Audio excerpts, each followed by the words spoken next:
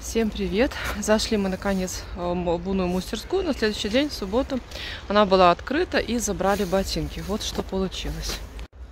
Ну, в принципе, он заклеил и прошил. Поэтому я думаю, что это будет нормально и будет хорошо носиться. Погода сегодня мерзопакостная. В том плане, что дует сильный ветер. Это просто здесь мы зашли во двор, где это мастерская, ветра нет. А так вообще такой ветер слезы из глаз просто нагоняет. И очень скользко. То есть такая себе погода. Идем сейчас на базар. Нет, сначала мы зайдем в Марка. Костя себе в интернете там выбрал ботинки. Они ему понравились. Они такие, ну, нормальные. Подошва достаточно толстая, хорошо прошиты, кожаные, все. Ну, по цене там, по-моему, 180 рублей они стоят. Как бы, ну, для зимней обуви это нормально. Купим ему ботинки, потому что старые уже совсем промокают. Потом пойдем на базар. Мы хотим купить там сковородку. Мы покупали, а, блинную, блинную сковородку, потому что именно на базаре мы когда-то покупали вот эту большую. Она оказалась очень хорошая, очень удачной. И все-таки на базаре все без наценок. В магазине-то они за аренду платят. Ну, короче, все это. А там без наценок и хорошие тоже качественные сковородки.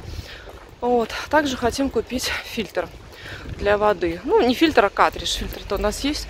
Можно и кувшины, в принципе, меняем. Кувшины, а здесь, наверное, решили поменять просто картридж. В общем, идем на базар. Но сначала Марка. Зашли в магазин Марка, но это не та модель, которую мы хотели, конечно, потому что ту модель, которую хотели, к сожалению, нету размера Костиного. Зашли в другую Марку, их тут два, здесь тоже нет. Ну, скидки есть, модели и размера нет, как-то так. Ну все, подходим к базару Минскому, так у нас называется. Будем смотреть сковородку и картриджный фильтр. Я не знаю, из продуктов, наверное, нам здесь ничего сейчас не надо. В такое время, как бы, конец января, тут ничего такого, наверное, и нету. Нету того, что есть, ну, все то, что в магазинах, в принципе, есть, но здесь почему-то стало все дороже. В общем, купили Марка ботинки, пошли. Ботинки Померили купили. другой размер, оказались они маломеры. Найди То есть то, что надо. Когда я Ну, симпатично. симпатична.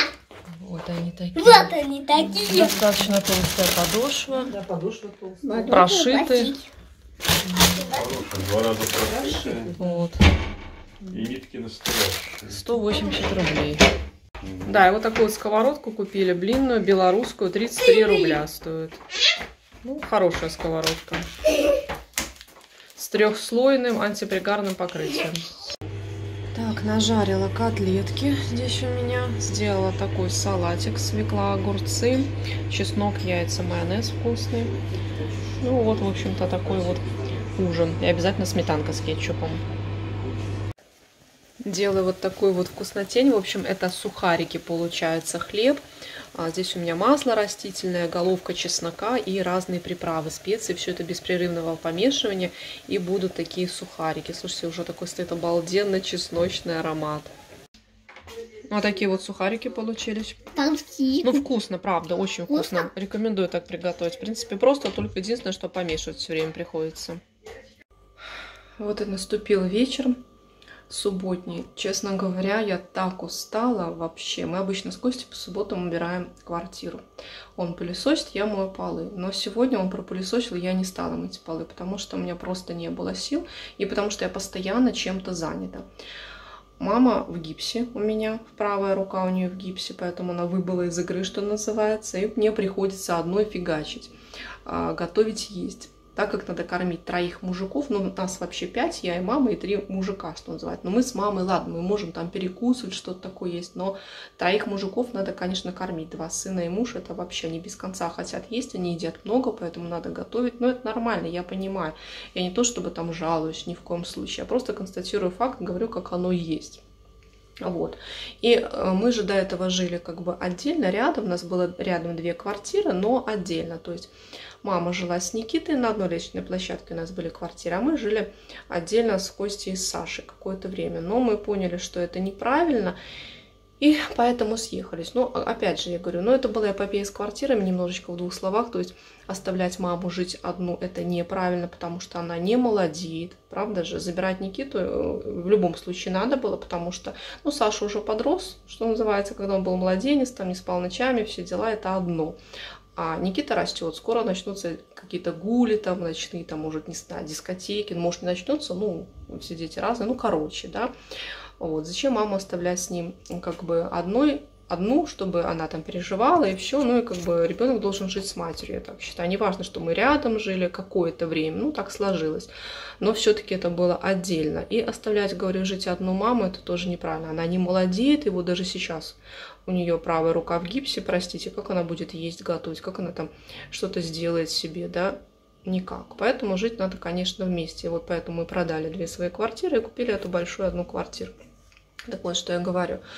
Это очень, на самом деле, трудно готовить на такое количество людей, потому что делаешь это беспрерывно, плюс еще надо ходить по магазинам, покупать продукты, и плюс, конечно же, работать надо в интернете. Это тоже процесс идет без перерыва, это идет процесс нон-стопом, поэтому на самом деле это все как бы нелегко, и я, вы знаете, удивляюсь, как живут э, женщины, которые имеют двоих сыновей и мужа, и ходят еще на работу. Как, не то, что я удивляюсь, как они живут, нет, я сама, что называется, в такой роли нахожусь, что они готовят, да. Наверное, они готовят ничего в том плане, что покупает какие-то полуфабрикаты, наверное, покупает что-то такое большое, может, тазиками, кости, какие-то ребра, там что-то такое фигачит. Или, как я вот наблюдаю, да, даже смотрю, очень многие просто покупают колбасу, сосиски, да, то есть макароны эти отварили, кашу какую-то отварили, там гречка или рис и картошку, может, там, и все, и макароны, соси... Ой, эти сосиски, колбасу, там что-то там такое сделали. Я вот смотрю, очень многие люди покупают еще полуфабрикаты, именно покупают там пельмени, наверное, да, вот такое все, либо готовую продукцию, всегда в этот отдел стоит очередь, и всегда берут эти готовые котлеты тоже, хотя это стоит достаточно дорого. Я не могу сказать, что это очень вкусно. В любом случае, когда ты готовишь сам, это вкусно. Ну, как бы еще устаешь от того, что Саша у нас такой active baby, что называется, такой активный тоже ребенок, и под вечер он вообще такой делается супер активный, и когда все дома, это очень тяжело, потому что он все время бегает, хочет с Никитой играть, что-то его драконит, ну, в общем. В общем, я устала под вечер и решила заснять это такое маленькое, как бы, отступление, потому что, ну, даже себе на память через какое-то время посмотреть, потому что дети растут, дети меняются, у них тоже меняются интересы. Вот, Никита, в принципе, уже взрослый, спокойный, занимается своими делами, и Саша когда-то будет таким в ближайшем, ну, может, не в ближайшем будущем, ну, в общем. То есть даже для истории это такой видеодневник, когда ты находишься в моменте, что-то такое рассказать даже как бы самому себе и, конечно же, своим дорогим зрителям. Потому что я думаю, что а, тоже у многих похожая ситуация. Они сейчас посмотрят и подумают, да, у меня так же, я там делаю то-то, может, а, подскажут какой-нибудь интересный рецептик. Я понимаю, что а на ютубе много всяких рецептов, но, знаете, иной раз не хватает просто какой-то идеи, да, например, а что такое приготовить много, вкусно и как бы ну, не то чтобы недорого, не в этом даже дело, чтобы это было много, вкусно, и чтобы готовилось, ну, не очень долго, да, то есть что-нибудь быстро. Вот, например, может кто-нибудь напишет в комментариях какую-то такую идею, подскажет, потому что на ютубе же надо тоже как-то задавать этот поиск, да, если ты ищешь какие-то рецепты, например, ну, в общем, да, то есть пишите, что готовите вы в плане на большую семью, чтобы это было не очень долго по времени. Напишите, буду благодарна. Всем приветики! У нас сегодня день следующий. Мы вышли э, на улицу. Сегодня воскресенье. Сугробов столько. Ничего не чищено. Ни ступеньки, ни лестницы, ничего. Снег метет. В общем, идем в магазин Заря, чтобы купить что-нибудь колбасного, мясного. Там все гораздо дешевле, свежее. В общем, он находится не очень близко от нас. Но пару раз в неделю туда надо ходить, в принципе. Вот, идем. Ой, как все снежно. Завтра начнут, начнется рабочий день, будут убирать на дорожке. А сейчас, говорю, воскресенье, поэтому вообще как-то лучше пройти, даже не знаю. Ой, идем здесь. Ветер какой-то, сегодня даже передавали какой-то уровень опасности э, из-за ветра.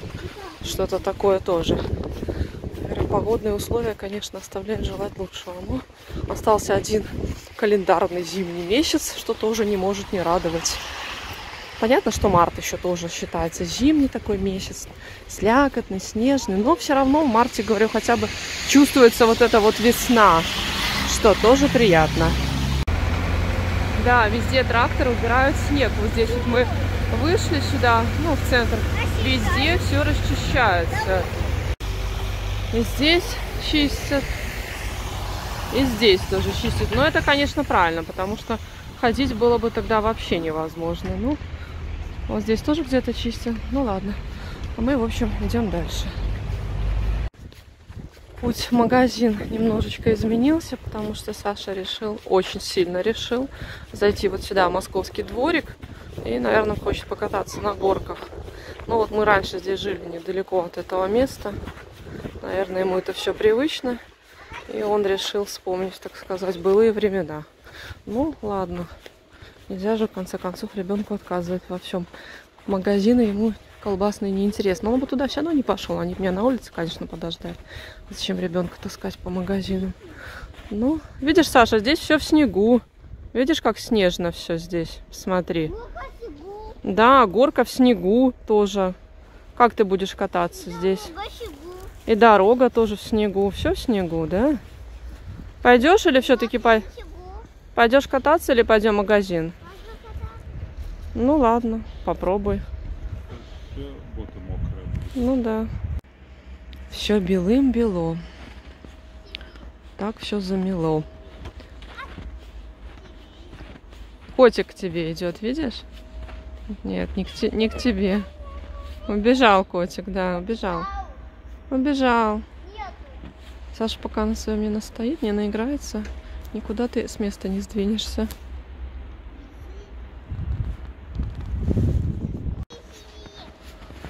Ой, как нам отсюда идти, я не знаю просто. На мотоцикле катаешься? Ну давай же. Пойду туда, где не ступала нога человека. О, мои новые ботиночки так хорошо все-таки. На такую погоду они идеальны. Нету руля, нету. Пойдем уже, пойдем уже в магазин. Оторвали руль, да. Дошли до фонтана, а здесь такое чудо. Трактор убирает снег. И вот они встали и наблюдают за трактором. Ну ладно, пусть наблюдает. А я пойду, пожалуй, схожу в магазин. Без них мне даже так спокойнее будет. Пойдем вот этой вот дорогой. Здесь немножечко расчищено. Сходила я в Зарю, вышла в магазин, потом еще зашла в Белмаркет. В общем, накупила всего вообще. В Заре потратила 36 рублей. Я купила две палки колбасы, может потом покажу. Одна вареная, три купила, три. Блин, трактор едет прямо на меня.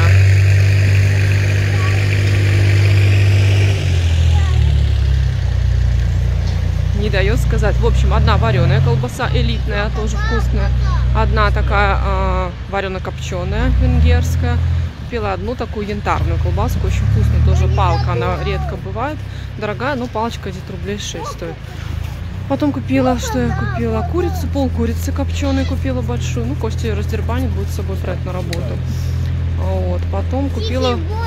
Не кричи, Саша.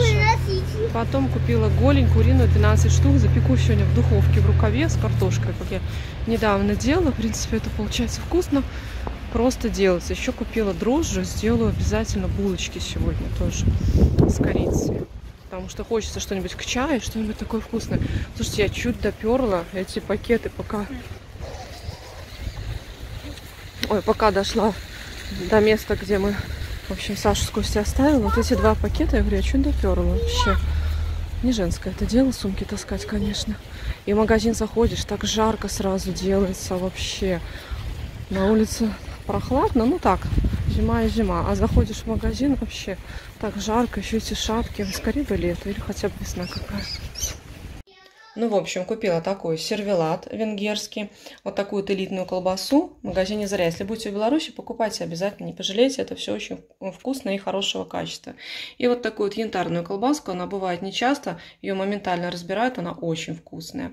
Голень 12 штук, дрожжи, булочки буду печь, ну, маслом, а, белорусские тоже вафли такие, ничего вкусненькие. Зефир, вот такую вот белактовскую кашу молочную, мама любит такую. Курицу, пол курицы копченые, ну, что я говорила, Костя с собой на работу брать. Ну, и так по мелочи тут всякие яйца, кефир а, с бифидобактериями написано. Ну, хочется в это верить. Ну, и, в общем-то, мандарины. Достала с духовки, он как раз на меня щелкнула. Э, Голень куриная и картошка. Вот оно в рукаве у меня готовилось около часа. Да, курица, картошка. Я уже делаю это второй раз за неделю, потому что очень вкусно получается. Ну, в принципе, просто делать. В рукав это все запихал, запихал. Ну, курицу перед этим замариновал. И вкусно получается. Сделала вот такие вот булочки под маминым чутким руководством. Слушайте, ну, дети уже растащили часть. Какие же они вкусные получаются. Это вообще просто супер. У меня на канале Марина Крылова есть э, пошаговый рецепт приготовления этих булочек. Попробуйте приготовить. Это, что называется, старинный проверенный рецепт.